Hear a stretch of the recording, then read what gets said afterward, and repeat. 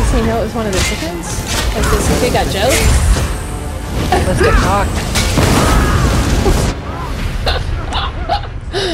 Oh, oh, I'm so excited. I think we got another double egg yolk today. I can't wait to pop that open and look. Super stoked though.